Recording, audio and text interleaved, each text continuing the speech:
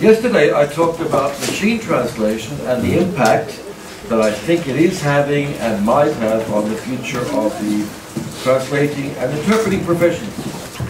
And today I'm going to continue that uh, by updating things I've been saying for too many years. For example, I was here at this university eight years ago, and I gave a series of talks which were basically the chapters of that book. Now you'll be very happy. The book is called Exploring Translation Theories, first edition 2010, second edition 2014, and you don't have to buy it because I'll tell you what's in it for free. and I'll tell you what's wrong in it for free. In that book, I have the first two chapters are on equivalence. And the other chapters are main translation theories seen as responses to the problem of equivalence. And this week and next, I'll be going through those chapters and updating the book, updating what I said always with respect to the impact of machine translation, which I think has affected not just the profession, not just the technology, knowing how to use it, but the way we think about translation itself. Today I'm going to present to you what I think is the problem of equivalence. I'll talk a little bit about the way that problem can be solved, and I'm going to present one stream which would be a critique of it. Now, this is a, a prestigious academic institution and, and yesterday after my talk I got really good questions. So I thought, you guys are really smart. I have to do something incredibly advanced. So this talk today, I'm sorry, it will not help you be a better translator or interpreter. Sorry. Other days I'll try that, but not today. This, I'm talking about basic, heavy-duty translation theory. And I'm going to put it in relation with Western philosophy, because that's the only philosophy I know. You can apply it to Eastern philosophy, that's up to you to do, okay? And I, I want to really talk about the problems of equivalence within serious thought in the Western tradition. It won't be useful, but it might interest you.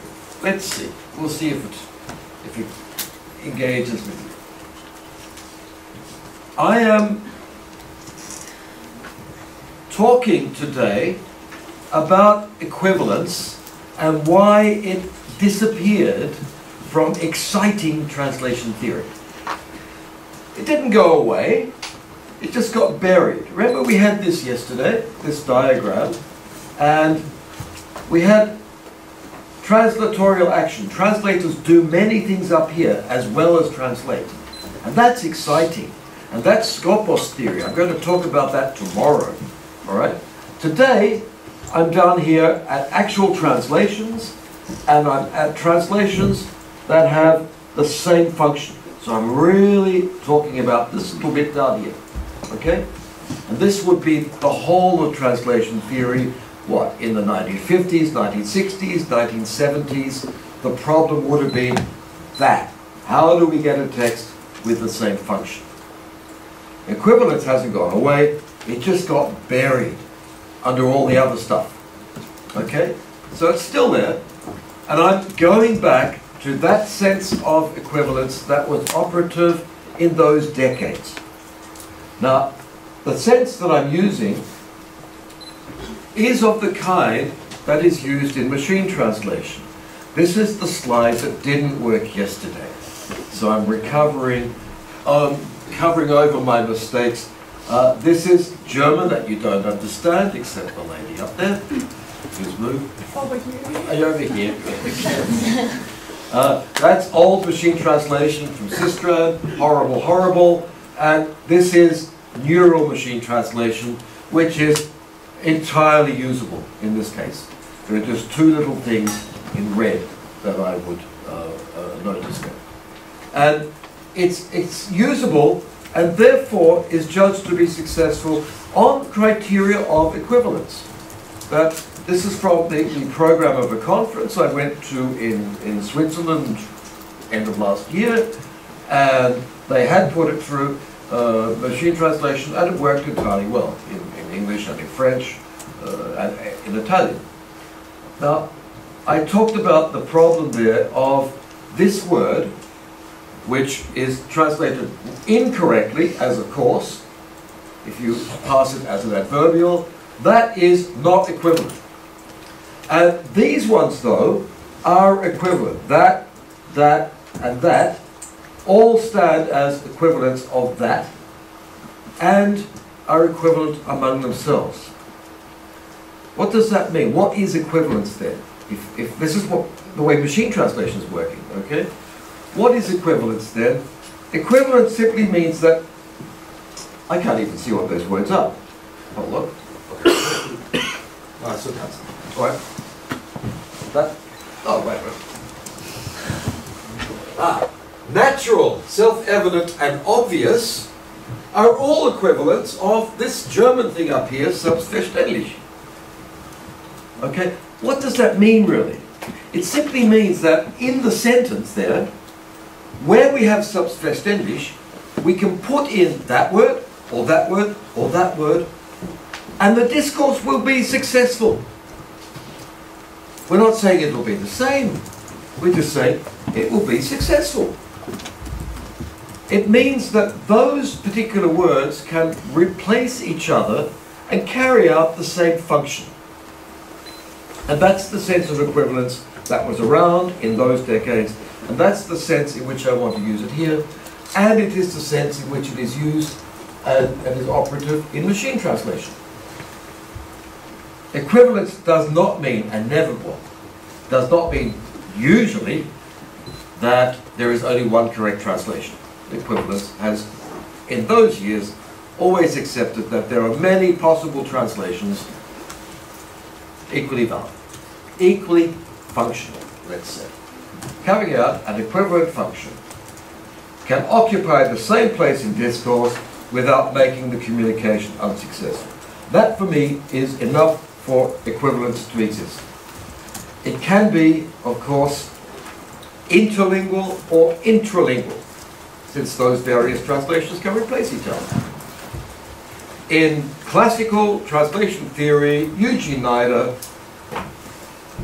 opposed what he termed dynamic equivalence to formal correspondence, sometimes called formal equivalence. The equivalence I'm talking about here is Nida's dynamic equivalence. It is the counterpart, not the opposite, but the counterpart of formal correspondence. And I think it was a really good idea. It's become incredibly unfashionable, but hey, it was smart in its day. I'll, I'll just tell you a story before we get on to that, man. I, I, I gave a conference. I was young, I had hair.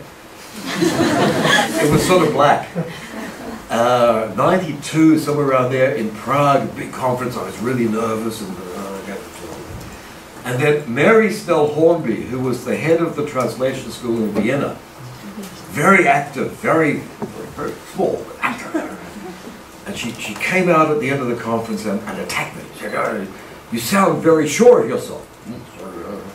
She said, what is your definition of translation? Terrible question, huh? If you want to upset anybody, just ask them that. what is your definition? uh, well, I think translation achieves equivalence. Ha ha, she says. It's all finished. That's old. You don't know about functionalism and new functionalism, etc. And I felt like I was, I came to translation studies two decades too late. Okay? Just to spite her, I have a lot of respect for Professor Snell Hornby, I'm going back to the old sense of equivalence. Okay? Um, Where does that sense of equivalence come from? I don't know. I've been looking around for the oldest reference to equivalence in relations between languages, and the earliest reference I've found happens to be this one, which is that guy over there, Edgar Allan Poe, great, uh, great storyteller, terrible rhymer, classic drunk, you can tell by looking at the. Know, but in, a, in what is actually a, a poem in prose uh, from uh, 1848, we've got, um, it's called Eureka, and it begins like this infinity. This, like God, Spirit, and some other expressions of which the equivalents exist in all languages. That's it. The equivalents exist in all languages. I can't find any previous usage. It's not translation theory, but he's talking about something quite important. Is by no means the expression of an idea, but of an effort at one. And he's talking about the names for the divine, for God, for the beyond. And he's, he says these equivalents exist. But he's not saying that your God is the same as my God, is the same as a Muslim God or a Jewish God or anything. He's just saying what is the same is the aspiration, the movement towards one, the desire for something beyond. He says the words are equivalent, not because they're equal in form or even equal in specific concept, they are not but because in all these languages and societies we find the aspiration to something, function, that desire, that longing, that sense of absence, or the sense of desire for explanation, function, basic human function. That's the kind of function that I want to see equivalence operating at. Okay? And it's not a banal. We'll come back to him right at the end. Now, it gets very messy in European. The good thing in, in Chinese translation studies is that Eugene Nida became really popular here and represented the whole of Western translation theory, more or less. So everybody picked up on dynamic equivalence and formal correspondence, and that was a good theory. And then they picked up on Venuti, foreignization, domestication, and that's a good theory. But within Western thought, equivalence was a real mess. Equivalence meant functional equivalence. For me, that's the, that's I'm using it. But look, this is in Russian, okay? This is in Russian, going right the way from the 1920s through to 1975 and in Russian and in some places in German and in other languages, equivalence, the Russian word for it, meant same word, meant invariance, meant literal, meant uh, formal correspondence. Okay? Uh, so the, the, that sense did exist, and did exist for a long time there, prior to Nida, prior to Catford, uh, prior to the main people we talk about, Vinay Darbelnet, for example. So, okay, that's equivalence number one. Forget about it. You've seen it, throw it away. Okay? That is, that is that. The equivalence, that's what people think it is, word for word.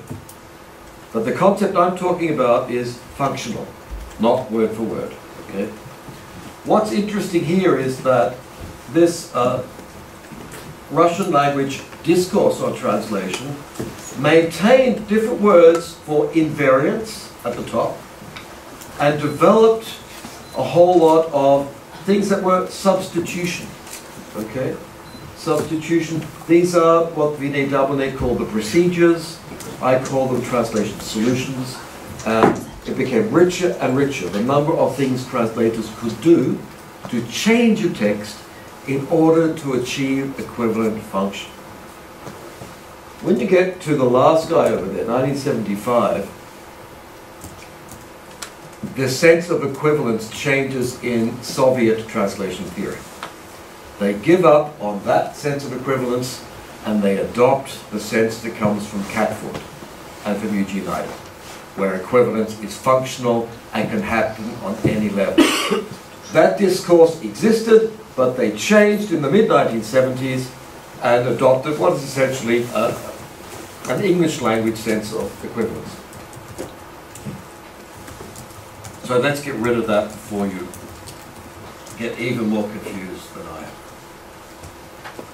Uh, this is uh, Barkhudarov in 1975, and you can see the sense in which he's using equivalence here to, to, to even to define translation, okay?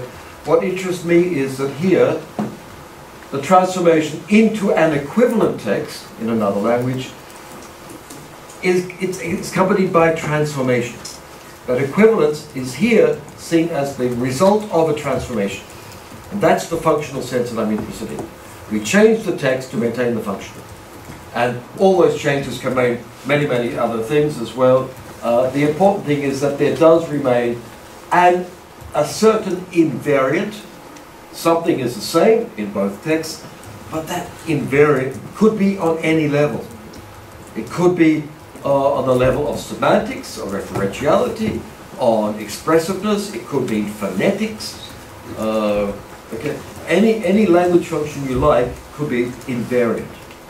Uh, so this is the moment where that Soviet discourse picks up on the Western discourse of functional equivalence. All right. So what's the problem? There is no problem that makes sense. No problem. 1975. What could be wrong? Here's where the problem came. This is from structuralism. Structuralism is, was the most exciting thing in the mid-20th century, and it came from linguistics, and it generally is seen as coming from uh, Ferdinand de Saussure. Saussure wrote a book, no, he didn't write a book, he gave some lessons which became the course of general linguistics, when he says certain things about the structure of languages. You can see there that you have an animal and you have some meat, right? And in French, that animal is called a mouton, and that bit of meat is called le mouton. Ah. But in English, you know, that animal is a sheep and the meat is mutton or lamb. Okay? So, French term covers two things, English term has one or the other. We know this. Languages cut up the world in different ways. If they didn't, we wouldn't have any work to do. So happily, languages cut up the world in different ways. But, look what Saussure does with it.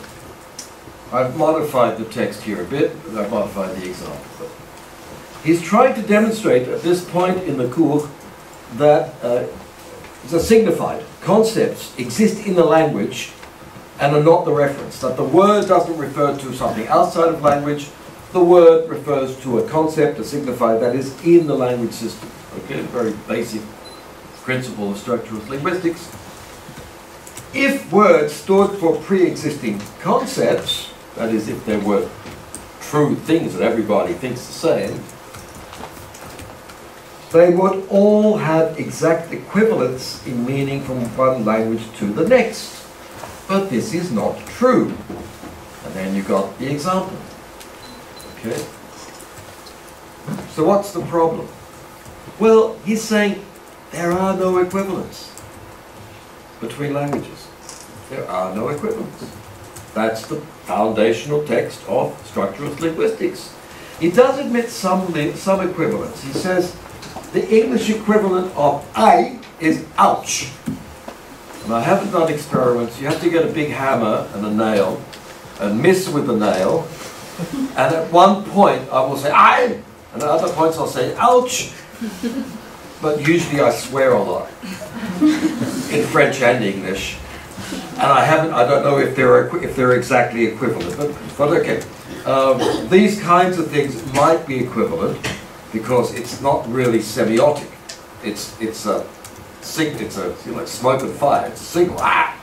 Uh, whereas the properly semiotic system is supposed to have an arbitrary relation between signified and signified, therefore no equivalence. Therefore, for strict structuralism, translation was impossible. Okay? You got this is I'm sorry, this is really simple diagrams. Don't take a photo of this one. I'll get shot. Okay. Somebody sends a message to somebody equals somebody sends a message. That's uh, that's okay. That's going to work within one language, all right? That's equivalence. But if you've got another audience over there with another language, another set of expectations, you've lost your equivalence. Okay, that's what structuralism is arguing. Translation is basically impossible because languages are different. All right. Georges Mounin, 1963, moving up through history a bit, picked this up. If the current theses, this is structuralist theses, of lexical, morphological, and syntactic structures are accepted, like Saussure, different languages cut up the world in different ways, one must conclude that translation is impossible. Ah, we've lost our business, folks. We're out. We don't exist. It's impossible what we do.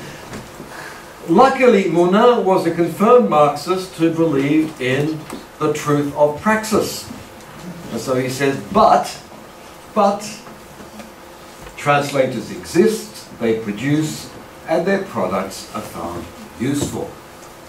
Therefore, either the translators are wrong or the linguistics is wrong. What do you reckon? Well, historically, the linguistics have found to be wrong. Okay? But for that moment, this was the problem of equivalence. That translation theoretically shouldn't be possible. And even quite intelligent writers say this. Talk at, at length about the the, uh, the, the, the, translators must be somewhere near paradise because what they're achieving, you know, is beyond conception. Hey, we do it every day of the week. We do it in our sleep. It's not hard. The linguistics was wrong. But how can we theorize that? How can we prove it? Okay, simple diagram. You can say that there is equivalence here because we've changed the text. You can see I made the text longer in this case. And if I change the text, I can restore equivalence. And I can even do it mathematically, if you like.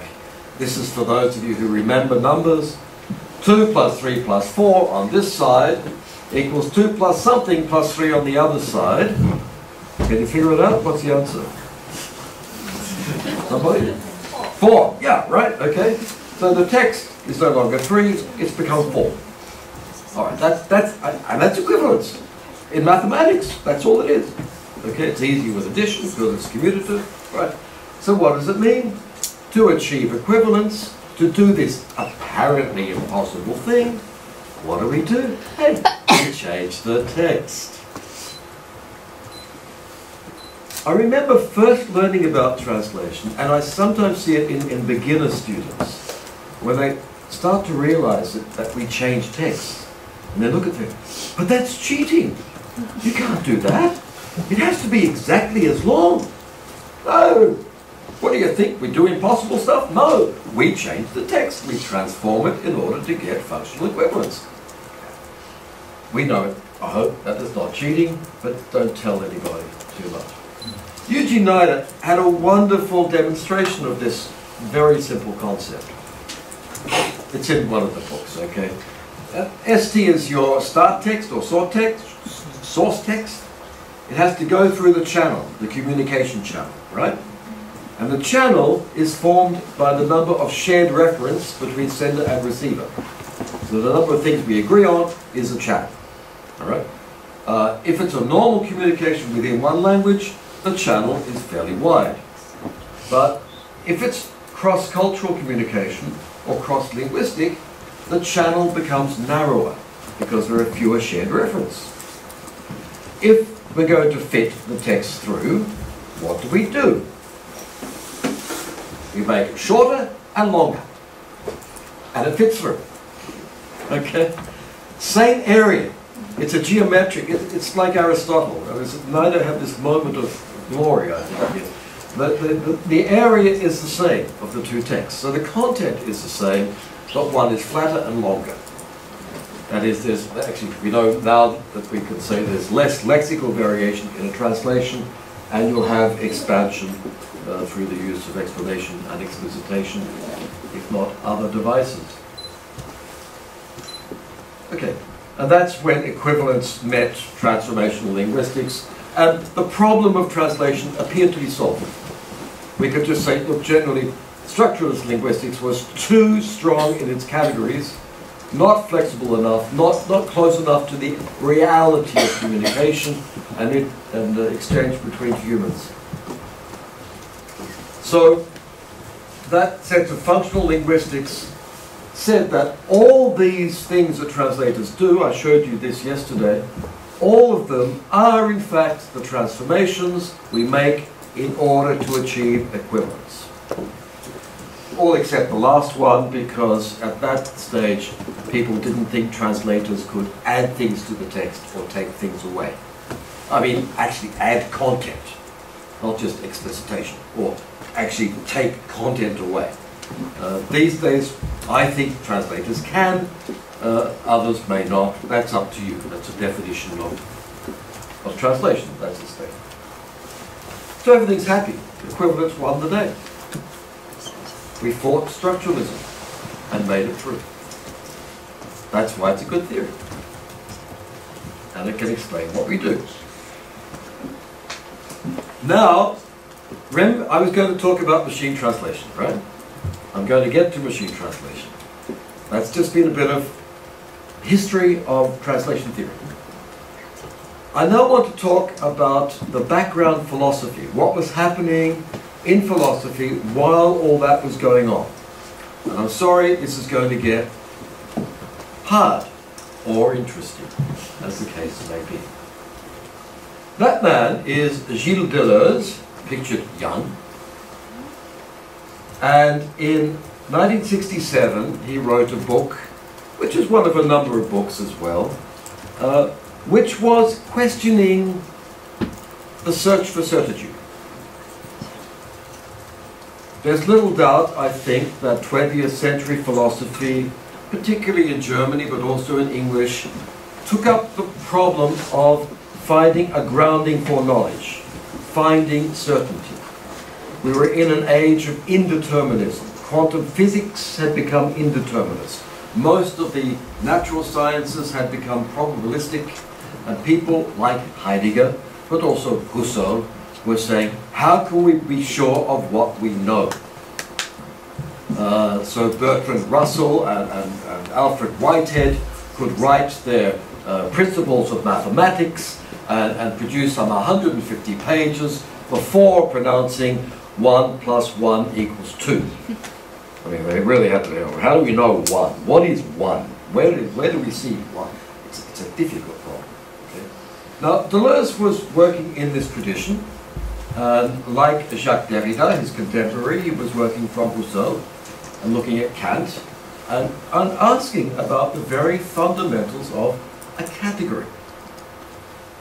He was dealing with two things, identity and repetition, because he assumed that to know a thing as being worthy of a name, we have to see it more than once. Okay, I have one bottle of water here, and I have one bottle of water there. That repeats that, and thanks to the repetition, I assume they share common properties, identity, and I give them a name. Hello, bottle of water. All right? And we've created a category. Deleuze says, fine, that seems a natural thing to do, but how can I know what repetition itself means? And how can I know of the difference between these two? They're very, very similar, I must say. the difference between the two things, how can I be sure that they are exactly the same? And he sets out to say, I want to have first-hand knowledge of repetition and difference. How can I do that? Where can I find that? And his conclusion is that when we look closely at experience prior to categories, prior to the words that we put on the world, we find an enormous diversity. We find that the categories are never pure. We find that the things that language wants to separate often overlap, blend with each other, produce other things, and are incredibly unstable. And for Deleuze, this is a wonderful thing. This plurality of experience, the wealth of actually coming and confronting the world, discovering things, is worth so much more than the pure categories of science. Whereas for the Germans, it was an upsetting thing. We're not sure of what we know. Hey, Deleuze says, enjoy it, folks. We're not sure of what we know. Get into it. Uh, now, that critique became important, and I'll just follow it through, okay?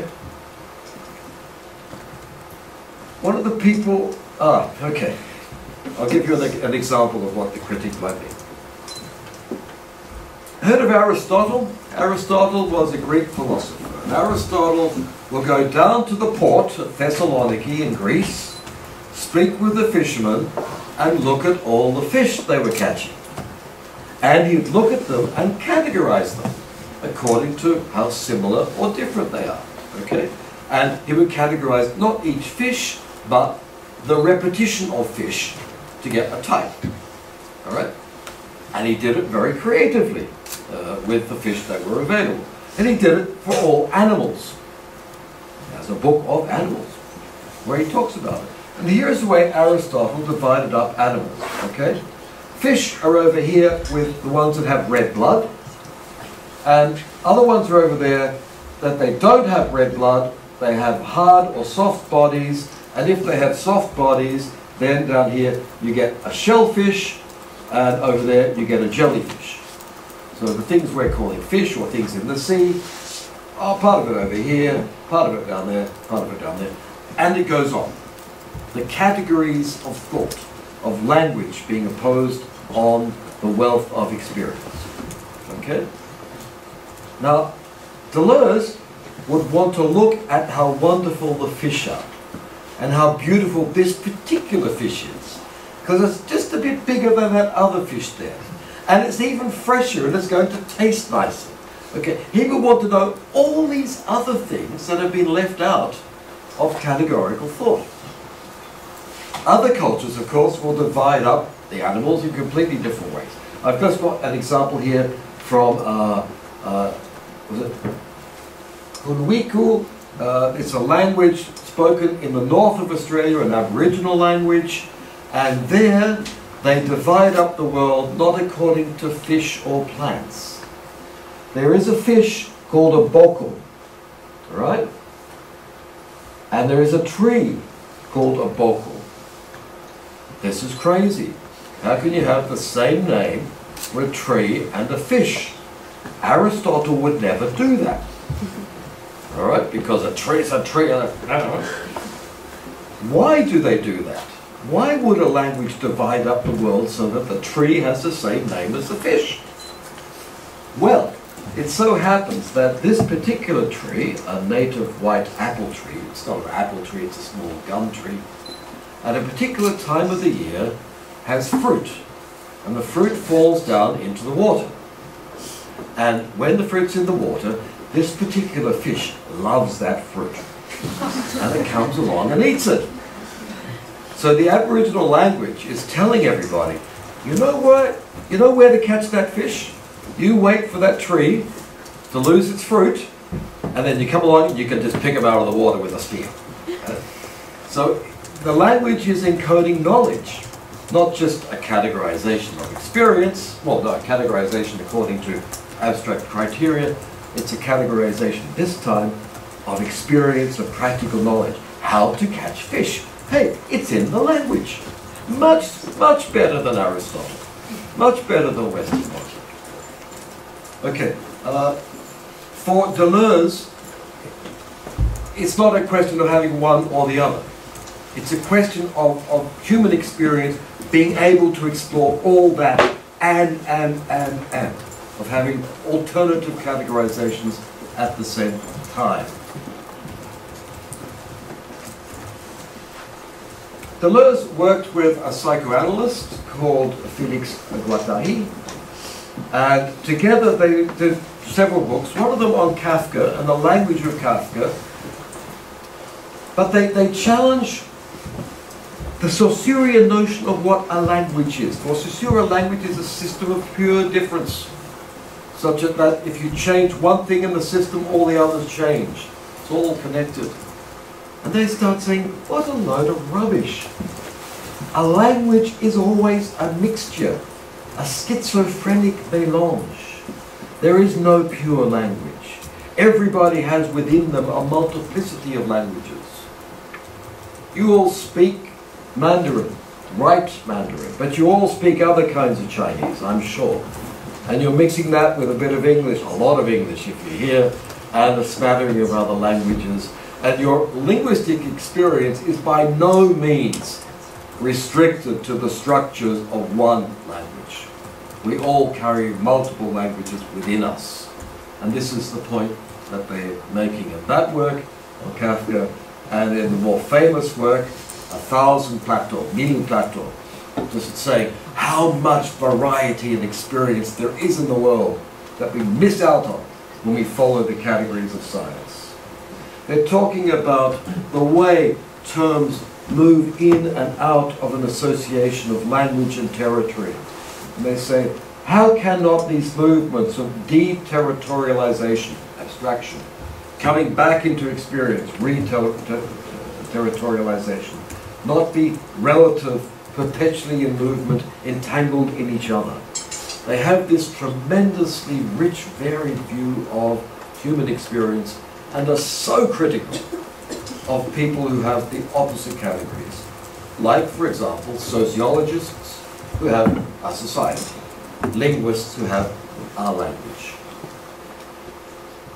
These were the people who criticized structuralism.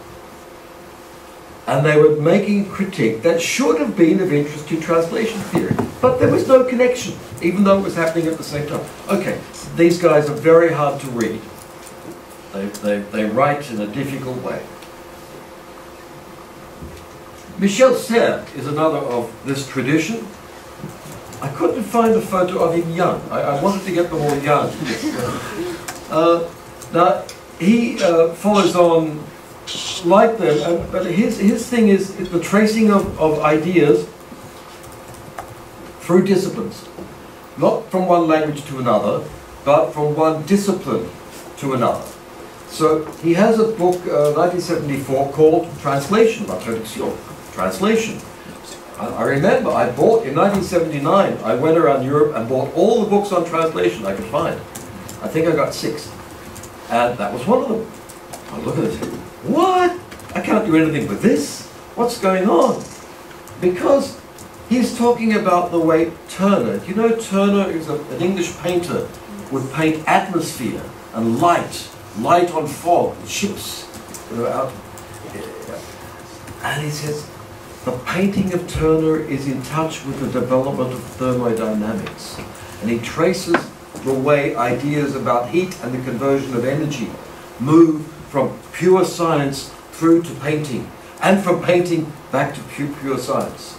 This wonderful, wonderful exploration of going from one mode of thought, one discipline, one discourse, if you will, into another.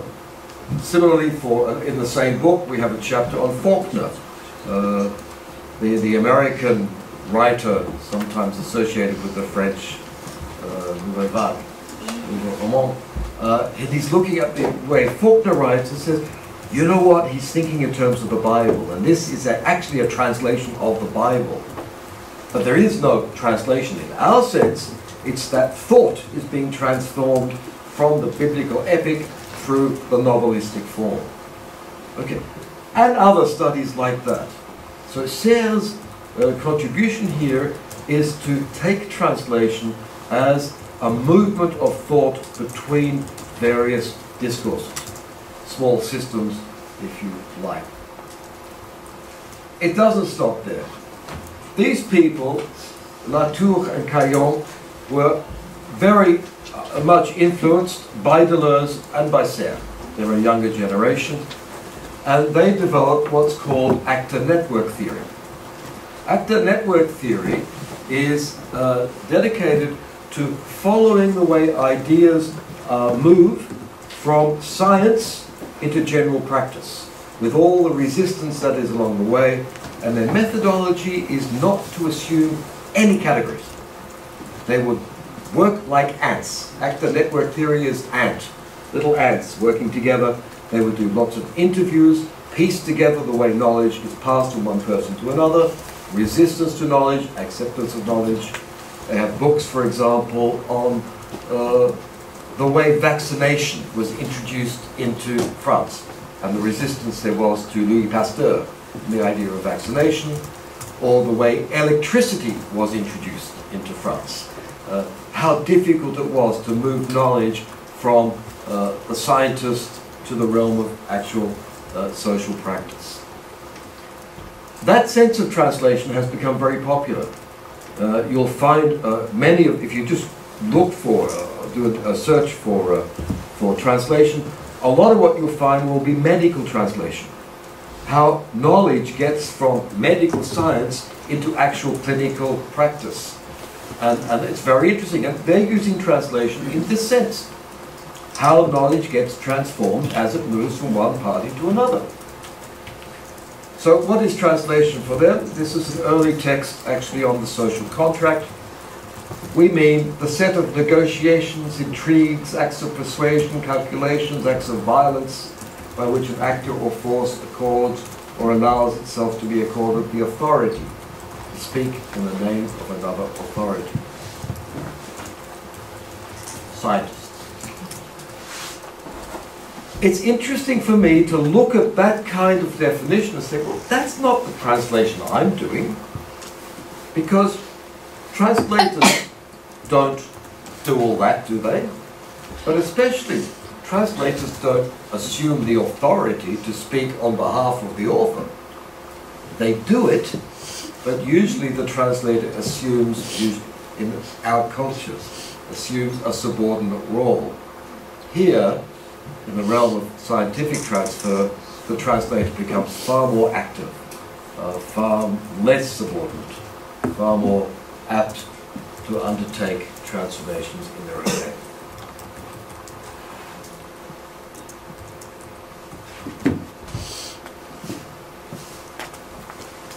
That I'll stop there. That, that strand of basically French thought about language did connect with equivalence at the time. But it could have and it should have. What happened instead is that strand has become what is called cultural translation, for many, in anthropology, especially in Homi Bhabha, but also in the British tradition of anthropology, where an ethnographer is describing a culture and that's seen as cultural translation. Um, for others, any kind of movement between cultures then becomes called translation or cultural translation if they take the time to add the adjective. In Edwin Gentzler's uh, post-translation theory, anything can be seen as a translation uh, Gensler says we should go down to the town square and look at the church and realize what that is a translation of. Look at the post office. What is that a translation of? Look at a university. How is it that this university in China is a translation of the European model of the university, which was a translation of the Islamic uh, religious school at the origin? Uh, all our meanings and, and, and, and institutions and, and buildings uh, are always translated from some previous experience. That's not the kind of translation we do, but it's out there and it's very interesting. Now, I'm intrigued by the fact that that whole discourse has continued there, and we continue regardless. Uh, some, like Ed Gentzler or, or Michael Cronin, or Emily Apter uh, some of them very much tap into it and say, oh, that's real translation, and the equivalence, that's just an illusion. From this particular critique, which is an undoing of the structural categories, the greater experience is in the undoing, and what translators do in establishing equivalence is just imposing even more categories, restricting even more experience. And so you have a radical critique of accuracy, for example, or the kind of translation that we're training you to do, or that you're doing, or that you're teaching people to do. We are accused of being naive, of being old-fashioned. Not nice. I'm asking myself, how is it, to go back to Mounin, that all that can happen, and yet we continue to do what we do and our clients pay us. Like Mounin, we are there, we get paid, we're considered to be useful, and our people read us in terms of equivalence. How is it possible that we do that?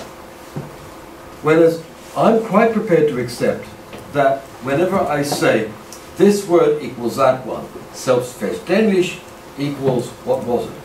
Obviously, I know they're different. I know that there's a movement. I know it's repetition. I know there's a difference. I'm aware of it. But equivalence says, ah, it's good enough. Why do we accept equivalence? And I'm going to give some reasons. Quickly, quickly, you'll be standing a long time.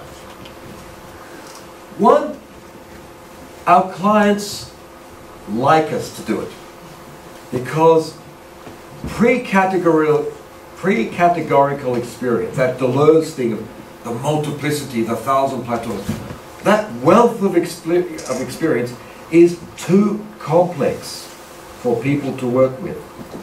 And we get paid to simplify it. Okay? It's an illusion that we are paid to produce. Why? Because we're trusted. Why are we trusted? Because somebody has to reduce complexity. So this is one reason. I, I came to the, uh, writing the book that I started with, in it I do describe equivalence as a socially beneficial illusion, necessary for the functioning of society. Trust is part of that illusive mechanism. We're paid to simplify. Is that enough? Is that a good solution? I don't know. I'm thinking of other reasons why equivalence still exists. One is that whenever there is something that looks like an equivalent, like, for example, H2O is H2O, probably in Chinese and in English. Why is it equivalent? Hey, because there's a whole institution called chemistry, the study of molecules, which has become international and has the authority of, of, of its science and is found to be useful. And whenever there's that authoritative structure, the kinds of authorities that legislate terminology, then we have equivalence. I know in China, for your foreign affairs discourse, you have published glossaries, which are not just glossaries of terms, but glossaries of whole sentences. And that is the way you have to translate it. It's equivalent. How do you know it's equivalent? You have an authority that says it's equivalent. That's it. Forget about the multiplicity of experience, the thousand plateaus. Oh, wait. Equivalence, that's it. Put it there, you'll get paid, everybody's happy. Reduce complexity.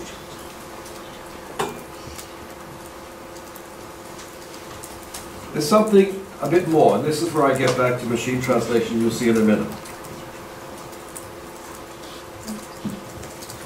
It's a remarkable fact, and this is picked up by Derrida in several places, that a piece of language can remain meaningful beyond its context of enunciation. That is, we know that meaning depends on context, we've known this for a long time, but how is it that a piece of language can be picked up In the case of Derrida, he's talking about Romeo and Juliet. No, he's talking about The Merchant of Venice, a play which is meaningful in Shakespeare's age, but continues to be meaningful in many other cultures and many other versions. always a bit different. The repetition is never identity, it is iterability for Derrida. How is it that language can remain meaningful beyond its place of enunciation? If it can be, then the repetition is meaningful. The repetition is necessary. It doesn't say exactitude, but that repetition can create identity and the equivalence is the stamp of approval on that identity. I'll come to that in a minute. The last one I want to talk about very briefly is that this whole project was at the origin a search for certainty.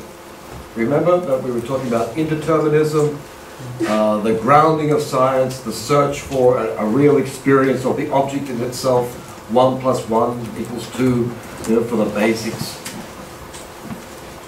The early 20th century was engaged in that sort of thought about certitude at a point when the main sciences, that is physics, but also biology, economics, political economics, demographics, many of the sciences had already turned to probability. They had given up trying to say what is true. They would give a percentage of probability with which this hypothesis could be significant or not. That is, they forgot about truth, they were talking about statistical probability. Nobody in the Western tradition that I've just named looked at mathematics, looked at statistics, looked at probability. They were concerned with pre-categorical experience. Now, why is that of interest to me? I think all those reasons are, are, good reasons why equivalence is still around, why we can still talk about it. But what does machine translation do? What are its philosophical foundations? One, it assumes iterability. Machine translation and translation memories are always picking up a bit, a bit of language from one situation with a translation, picking it up and saying, hey, use it in another situation. But we know it can't, because language depends on context. They say, I don't care. I'm going to do that. I'm going to look, I'm going to do iterability. I'm going to pick this up here and put it down there, and it's going to work. It can't work because there's always specific context. Ah, it's going to work. Authority, or reduced complexity, all those reasons come in, okay? But the machine translation, in its foundations, assumes that iterability. And the second thing, the neural machine translation we have bases its iterability on statistics, on probability, on that 19th century solution that was somehow forgotten about and sidelined by the critiques of structuralism and post-structuralism, the two movements I've just described to you. Because of iterability and because of probability, there are firm foundations now for the return of equivalence. That man is Hans-Georg Gadamer, giving a lecture at the age of 90. And he's talking about the Tower of Babel. And he's talking about the way science helps humanity construct its modernist versions of the Tower of Babel. At one point, though, he laments that the basis of the sciences that now build our Tower of Babel going up to heaven is mathematics. Dehumanized calculations of numbers. He was an old man at the age of 90. And he calls for a rehumanization of communication.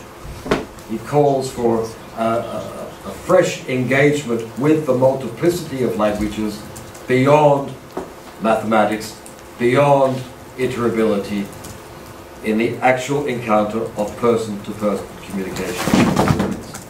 Gadamer, at the age of 90, is, was a voice in the wilderness.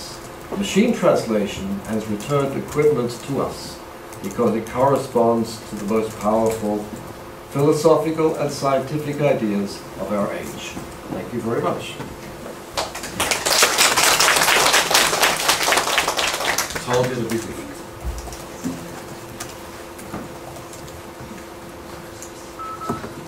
Questions? Comments?